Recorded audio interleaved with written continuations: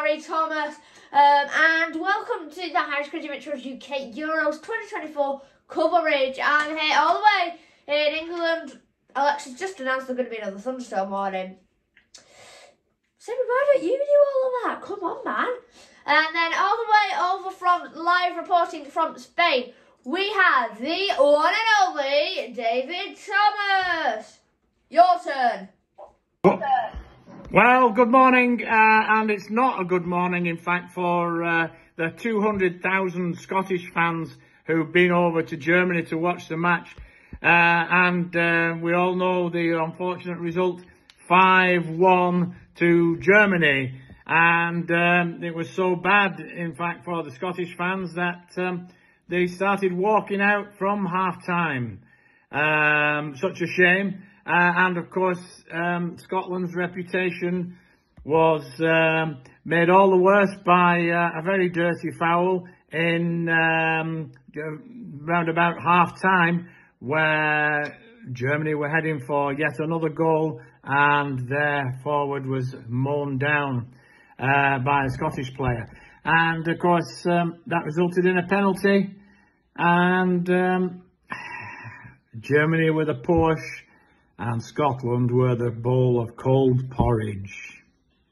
Action. Okay, so now as you can see behind me, we have got the Scotland um, by the um, UEFA. Is it UEFA? Um, the skulls for Scotland. Let me just move out so you can have a good view.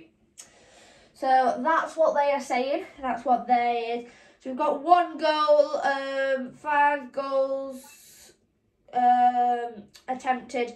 We've got 77% um, passing accuracy, 32%, um, as you can see there, 31 balls recovered, 4 tackles won, 0 clean sheets, 5 saves, and a distance covered 101.29 kilometres, one yellow card, and of course, one red card. Get off, mate. Um, um, now we're going to have a look um, at the players.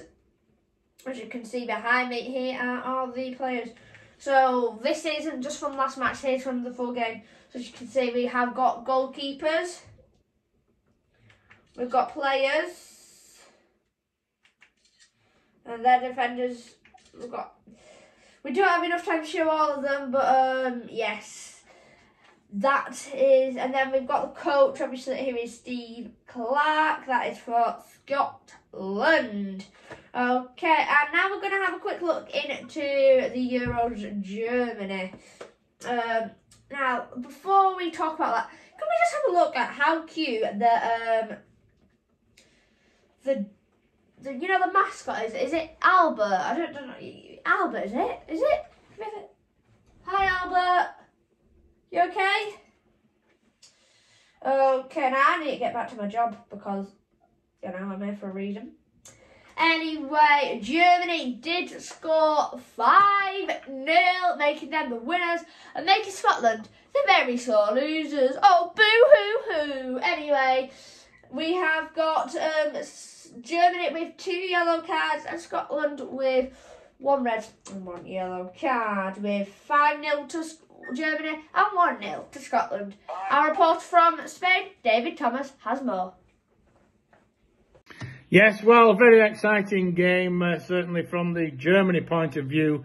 And um, we may not know a lot about the German players, but certainly they've got two young stars, Jamal Musiala and uh, Florian Wirtz. Uh, Florian Wirtz, of course, uh, one of the top goal scorers. Um, so England don't have a monopoly on uh, young attacking talent, and Scotland uh, are now painfully aware of that. Steve Clarke's team were dismantled by the cleverness and intelligence of Germans, Germany's football in Munich and the host nation carry on in this fashion. There may be plenty of pain down the line for all the other teams. Um, Scotland, yes, um, they can be good, but last night was not one of those times. Um, and uh, yeah, they've got some very challenging games to come. Um, uh, and it's um, Switzerland, which you may think might be easy for them, but not on the form that they were on last night. That's on Wednesday. at 8 o'clock.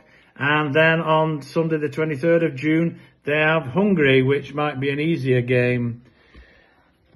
Okay, yes, so we have a Germany a win and a Scotland a loss. We've got red cards for Scotland and yellow cards all round. What are we on about? Come on, England! Come on, Scotland! What you doing? I mean, I mean, it, it, you know, England win. They're the best. Okay, so um, last night there was a red card for Scotland and a yellow card for Scotland and two yellow cards for Germany. Um, so fouls, um, we've got um, more fouls towards the German side, um, and then shots twenty to Germany, one to um, Scotland, leaving us with a five one to Scott to Germany. So what, here's what happens if you're presenting this at um, half five in the morning. Anyway, I believe David Thomas Post from Spain has more. Okay, yeah, the atmosphere started off full of uh, hope. Um, people in kilts in the bars here in Spain, um, Scottish supporters, even had some banging the drums in the bar, much to the annoyance of the owner. Uh, but the atmosphere gradually deteriorated as it became obvious that um, Germany were the superior team. Um, in fact, uh, it turned out a 5-1 result was the biggest ever defeat for a team in the opening match of the Euros.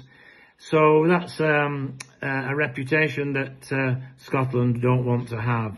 Uh, Germany was certainly superior and uh, Musiala, one of the goal scorers, actually, um, he plays for uh, Bayern Munich, but was actually born to an English father. So uh, grew up in Croydon in uh, London and uh, was on Chelsea's books until he was 16. Uh, he could have played to, he could have chosen, of course, to uh, play for England, which is more the pity. I'm sure Gareth Southgate would welcome him with open arms. Um, but uh, 200,000 Scottish fans have taken the journey across to Germany.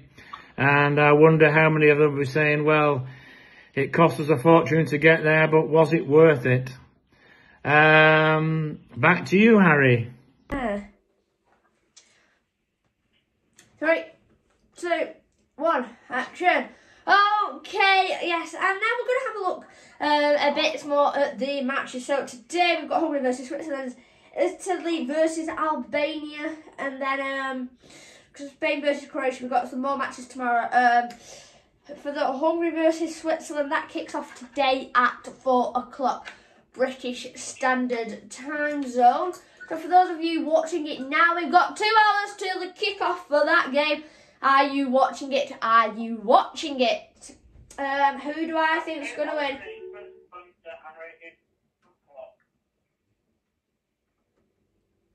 Um, I think we had technical difficulties there. Anyway, I think for the Hungary versus Switzerland, personal opinion, Switzerland.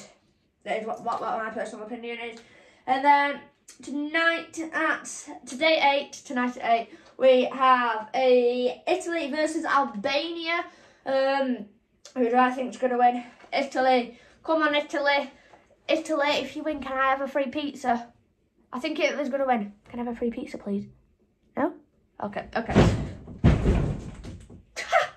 Just walked into the back wall then. And then um, we've got Spain versus Croatia, Croatia today. Um, I think Spain's going to win. And a lot of Spanish players I think are going to win. And that is where David is right now in Spain. Who do you think is going to win, Spain or Croatia? Well, uh, it's obvious to me that uh, Croatia are an excellent team, but um, the flags are out here.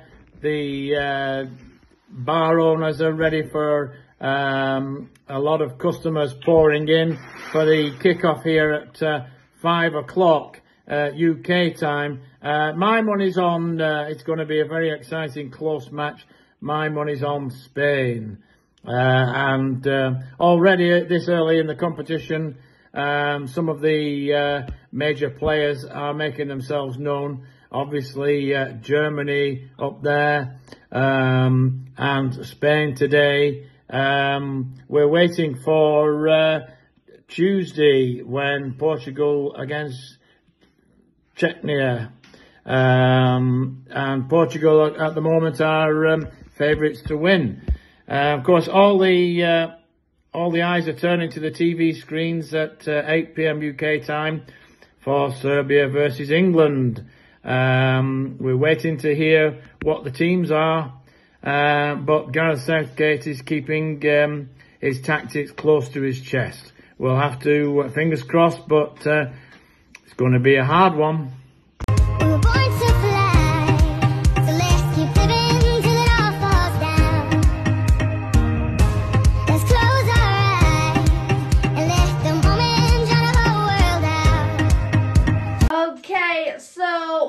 From that little quick 15 second break just for you to watch a quick clip of the highlights. Uh, it was an image. I'm, I'm not sure.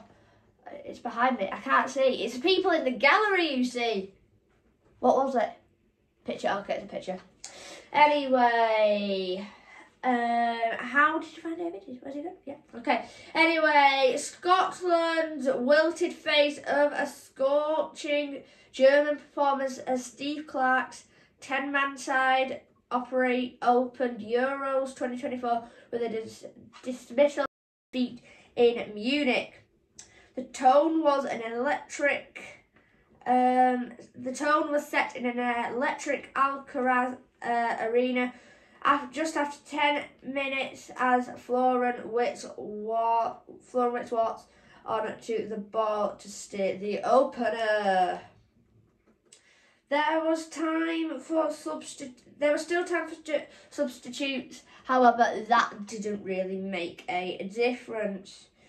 This was a German possession which, despite Scotland's dif- differences, will galvanise the host into the the host nation into believing again. Um, there was um, a red card given um, that was from this moment just here behind me. That was from that moment there. And um, the minute Scotland score a goal, well, the crowds went wild. Um, and then we have got the score charts of um, we've got um, the player of the match um, here, Jay Mulsasson, and then here are all the players. Um, as you can see, we've got all the players there. So they're from Germany, and then um, from Scotland, here are all the players, as you can see. Here we have them, and then um, also, so the player of the match was from Scotland. He was player number 10 with 8.47 rating. Well done to him. And uh, a bit more about this. Um, how's everything going? How was the atmosphere last night? How's everything going this morning, David?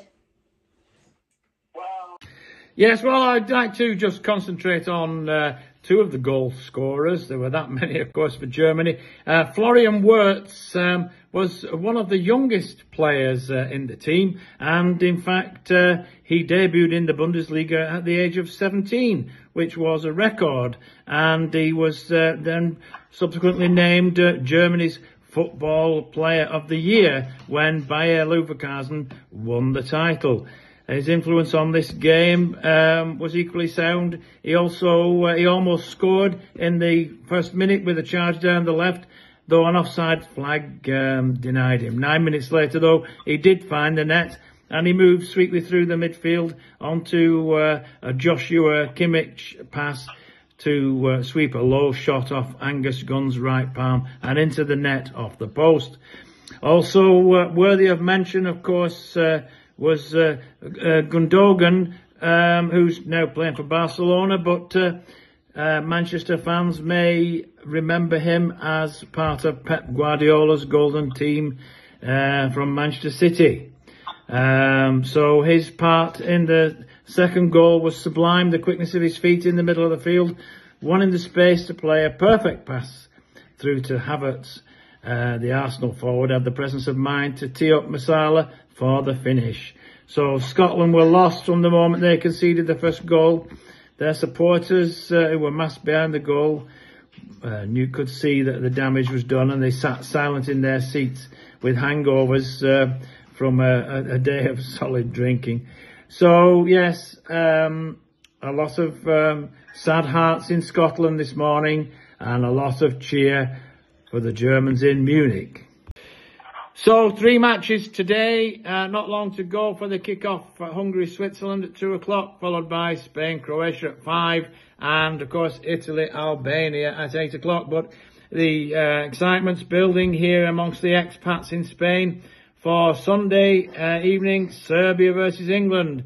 So we'll keep you up to speed with what's happening on the pitch and off. So from David Thomas in Almeria, it's good night. Okay, so yes, as I was saying, there are the stadiums. And there's lovely old Albert. Hello, Albert. I think that's how you say your name. How are you? You good? Come on, my man. It's it's a green screen, so that's probably not at all where he is. Yeah, yeah. Um, and then obviously, as you can see here, we have um, all the um, all the teams. You can see, and then that's all from me, and that's all from David. So until then. See you tomorrow at 10, 11 and 12. Until then, bye bye.